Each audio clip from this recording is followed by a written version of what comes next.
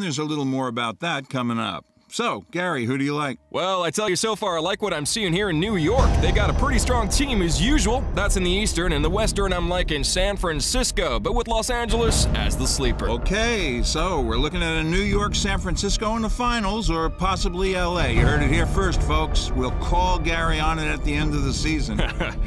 That's all the sport. Back to you guys in the studio. Thanks for the workout. Thanks, guys. And that's not all we're following. Here's Dan at the help desk. Three more employees at their Times Square headquarters have been diagnosed with. CryNet have denied reports of a biochemical leak at their Midtown research unit. Parent company Hargreave Rasch were unavailable for comment. So far, there are 127 laboratory confirmed cases, but due to the speed of infection. All transport routes have now been severed as cell gasoline threatens to break the dreaded 200 We need to reinstall trust in our law enforcement agencies.